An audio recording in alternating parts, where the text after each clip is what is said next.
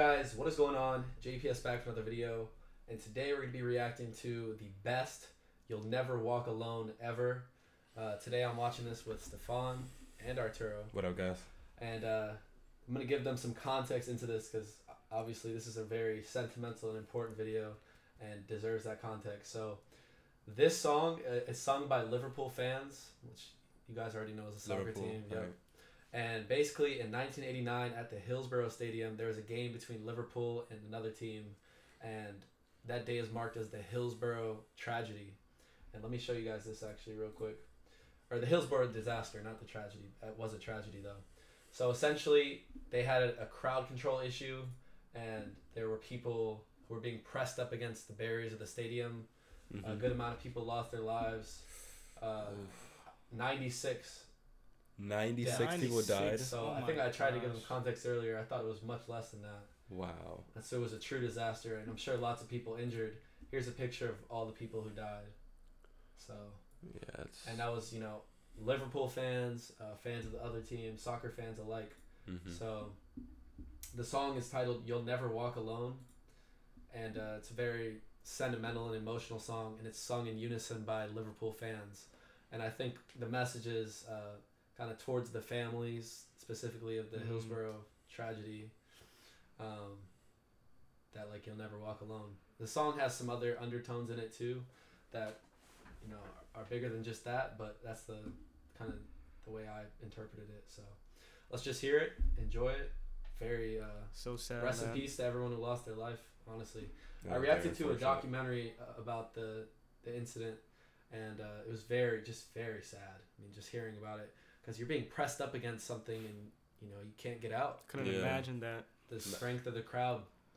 There's nothing you can do, so you just run out of breath. You're going to a soccer game to enjoy yourself and you lose your life. Yeah. That's crazy. That is And- It's a phenomenon that occurs in other things. Like there's been musical Concerts. concerts. Yeah. Uh, Travis Scott is one we think of hmm in the United States where, you know, just not good crowd control or not good management, whatever the case may be, uh, miss a misstep by someone that you know causes the death of so many people. So let's get right into this.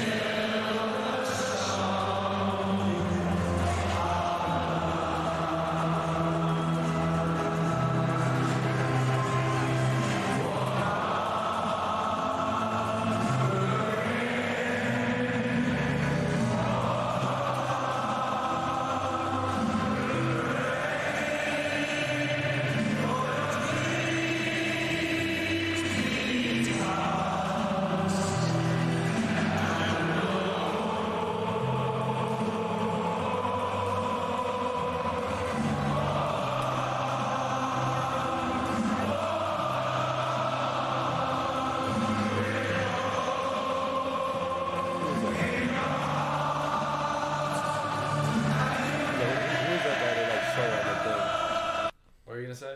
Who's that guy? Like go like 10 seconds back. Who's that? On the I, I don't know who that is. Huh. Probably someone related to Liverpool. Oh, okay. I really like the scarves, holding up the scarves. Yeah, that is that's that's hard. But that's hard. and this stadium is deep. I think every seat was filled. That's a lot of people. yeah. That's what I'm saying. They're all saying it together. So Mhm. That's imagine beautiful. the feeling, the the atmosphere, all the emotion. Yeah. Because there's probably people there who were family members of, you know, people who lost their lives that day. There's Right. a lot of emotional energy in one place. Yeah. Yeah.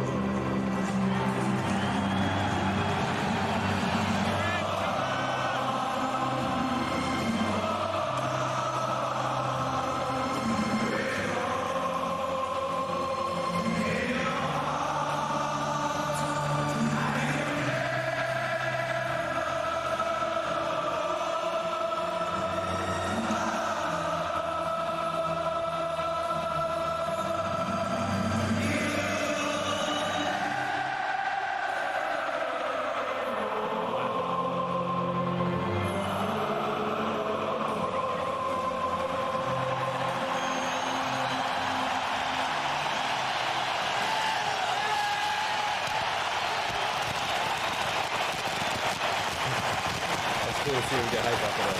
I had it too. What an unbelievable moment for football in Australia. Yo. Imagine being there, bro. Yeah, Yeah. the energy there. That's- That's what I was thinking about. Yeah, some of the people like are singing their hearts out. I could see it. Like, Yeah. damn, they eyes closed, just Waving the flag. I, at the end, like you could hear how loud it was. yeah. Imagine being a player. You know what I want to know? Did they win the game? yeah, that's what I'm saying. I was like, did they win this game? Yo, someone comment down below. Did Liverpool win this game? They they better have won. They better game. have won. I'm not gonna lie. That's wild. Right? Yeah. Oh, it was a great song though. I mean, they sing that at every game, or Mm, I don't actually know if it's a tradition. Okay. They have their chants and stuff, but what I know though is that they just sung it at this game to commemorate that event that Mhm. happened. And it was alluded to at the start. Let me just listen to this intro again because they talk about Liverpool and then, so I think that part truly heartbreaking tragedy. They're talking about the Hillsborough disaster. Yeah. So, yeah, I I've never been to a sporting event where people have like, so, I mean, there's chants and stuff. Like I've been to some football games, American football games, but they don't. There's not really No, songs I'll see like and stuff. the That's- wave. They do. I've seen the wave. Yeah. Like, like they do that, but like Mhm. actually like coordinating yourself with your voice and we'll, singing it. we'll you have just like a word. Like if the refs, Yeah. refs do something bad, it's I mean, at the co- the Right. college That games, they be playing the music. yeah. That's true. Yeah. Yeah, but I'm saying like this is they didn't even need to play the song. The whole crowd was singing it. Yeah. Oh, we could do that uh, reaction in the future because European football fans they go crazy with the chants and stuff. Oh yeah. Like, Mm. Great, like, it blows anything we have here away. Mm-hmm. They'll come up with stuff on the spot, making fun of another player, like singing chants about What? someone. Yeah, like, No way. That's funny. Uh, we, we're gonna watch a video in the future. but anyways, guys, hope you all enjoyed that. Um, rest in peace again to anyone who lost their life or family members. Uh, Very will sad. never Rest walk in alone, peace. right? So yeah, um, hit the like button, guys. Hit subscribe, and we will catch you all in the next one. That's Thanks for having us.